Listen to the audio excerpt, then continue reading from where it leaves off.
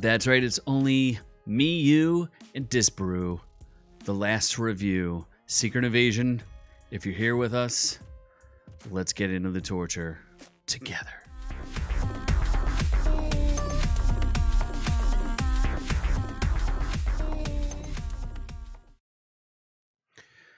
So while I reviewed the first episode, I have not reviewed any others. I've done 10 second reviews. I just I just didn't have the heart and the interest to continue doing a, a weekly review of Secret Invasion. But since we're on the penultimate episode, episode 5 of 6, I figured let's have at it because my god, the show is stupid it's just its own internal logic fails it. It's as if someone wrote this and did not remember that they wrote the lines that they wrote in the previous episode. I don't know what was going on here, but this show is just it's foolishness. We finally uncover Nick Fury's secret is that he's too embarrassed because he was raised by a single mom and married a Skrull to call the Avengers in because then he would just look a fool and no one would ever trust him ever again. That's why he never calls the Avengers in. And he's been secretly, spoiler alert, harvesting their DNA behind their backs and sending Skrulls in to do it. So, you know, even Carol Danvers' DNA is in there. Because her DNA would have her powers? Not sure that's how that works, friend. Because her powers were created by an accident, and I don't know that it changed her DNA. Just like if you had Tony Stark's DNA, what would you get? A real smart guy. Or Ant Man's DNA, what would you get? A crook who has a suit. They have suits. Yes. D- things don't. Even Steve Rogers' DNA. What do you have? A super serum. Wait, does this super serum is that is that in his DNA now? I'm not so sure about that. Ay ay ay, what a mess. Let's check out the recap because I hardly remember what happened because it was so dumb. Yes, let's check it out together. Rejoice, fans. Olivia Colman is the only salvageable part, and this is from the Daily Beast. The Daily Beast. This episode was called Harvest, and we find out a handful of things that aren't that interesting to anyone other than Nick Fury, I guess, is some kind of loser. none of it makes any sense. What is going on here? so, anyway, let's see. How does this ep- is this episode a success? No, probably not. I don't even know what's going on here. All I know is uh, I know a couple things. I know that Emilia Clarke has no character and no character arc. She's barely even a thing. the worst action scene I've ever seen happen. and uh, yeah, these people are acting with the thinnest of anything. So, but apparently Talos, Ben Mendelsohn, is in fact dead. Okay. Uh, Dermot Mulroney is the president. And they take him to the hospital room.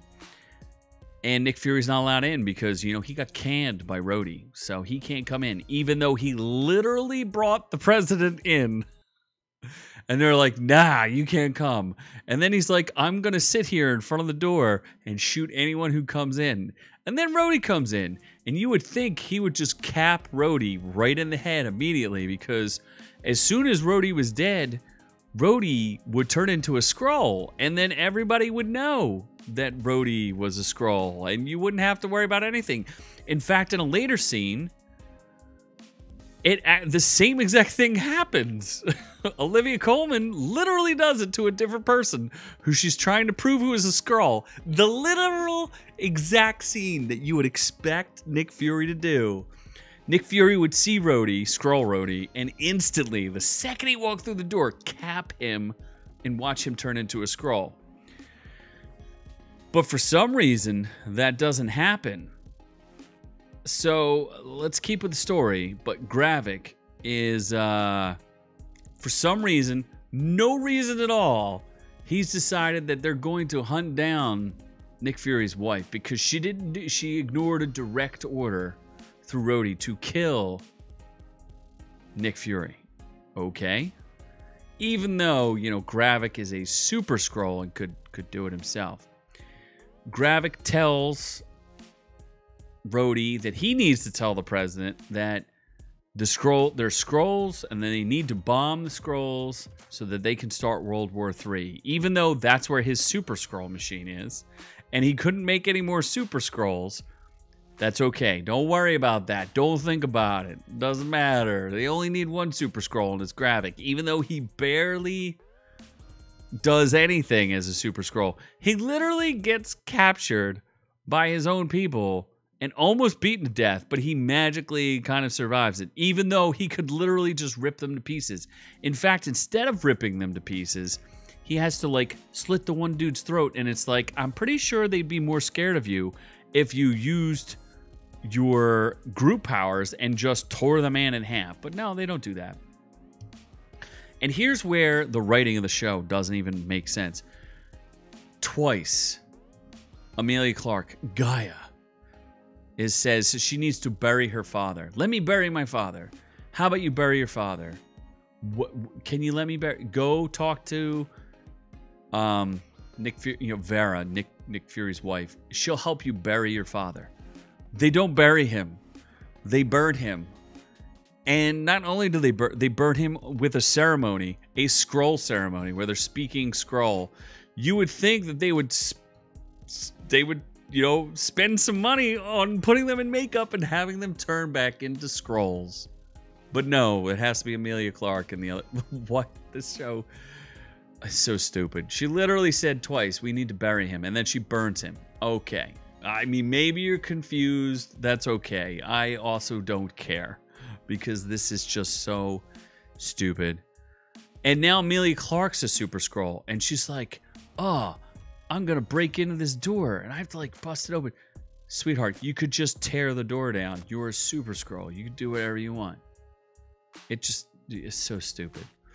And the reason why he's got the super Skrull idea is because Gravik used to work for Fury, and what they really wanted to do was harvest the DNA of the Avengers, which is revealed.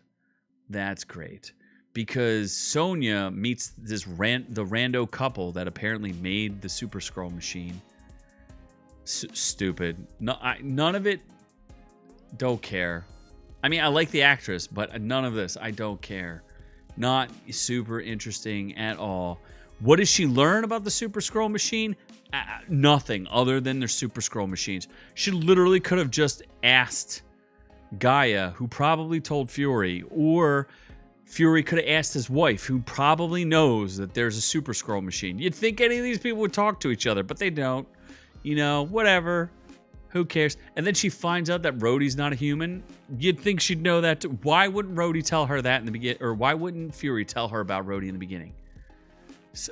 I just don't under, know.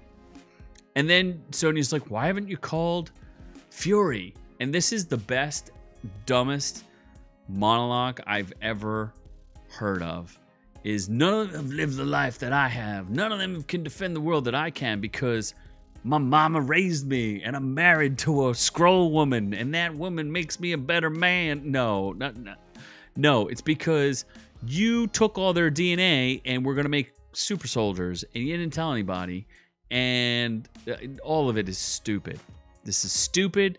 It's terribly written, so dumb. Like, what are you gonna do with Iron Man's DNA? Like, half the Avengers. Let's talk about Hawkeye. What are you gonna do with Hawkeye's DNA? like, come on, people. What? You, the only ones you care about. It, it would be different if he was like, oh yeah, I got the Hulk, and maybe, maybe you got Thor. Thor's a god. I don't even know if you can get his DNA. I, I don't even know what that means. So, who's exactly whose DNA are you getting? Black Widow, her DNA. like, what are you gonna do with it? They're just regular people. Half of the Avengers are regular people. What are you talking about? So stupid. Insanely stupid. And now Gaia and weak ass Nick Fury can maybe be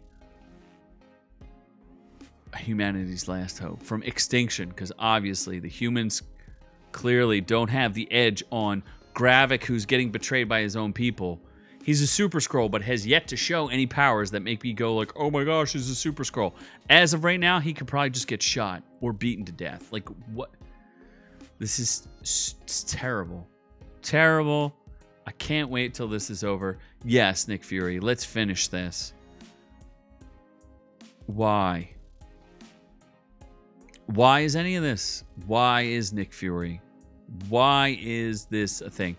Why did they pay Emilia Clarke any amount? Whatever they paid her was too much money because she literally does nothing in this show. She has no. The only thing I want to gripe about, the last thing I want to gripe about, is the action scene where, they're spinning around shooting. If you watch that, the action in this show has been so been so poorly directed. It's it's astonishing. They put on backpacks. They might as well as put on fanny packs of guns. When you need guns, you don't put them in backpacks. You just hold them. It's the stupidest thing ever. Shotguns apparently shoot people across the across the entire freaking room. You just you get blasted and you just fly across the room. Like, is this a terrible 80s action film? And then when Fury's wife runs out of bullets, she just stares at her gun like, "Oh, I got some out of bullets. Dur, dur, dur. I don't know what to do with it now. It's out of bullets. I don't know." She's a super Skrull. She can heal herself with uh, extremis. All of this is stupid. The show is garbage. This is why I haven't been reviewing it. But if you'd like me to, I will continue. I'm gonna watch the last episode. I've watched every Marvel thing ever, all of it. Miss Marvel, Hawkeye, all of it.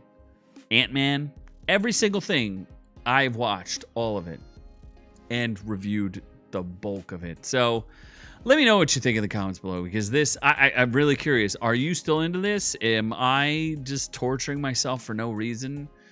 I clearly am one of the only. It, it's the second worst watch show next to Miss Marvel, which I which I watched all of. So please tell me, should I continue torturing myself? I mean, I'm gonna do it regardless because I clearly just like to self-flagellate. But thank you if you watched this long. I appreciate you. Let me know. Keep doing it. Torture. Do you like torture? Maybe you do. But I don't know. Anyway, audio podcast, Stitcher, iTunes, free. You. Our reviews will kill you. We love you. I'm on. To the next one.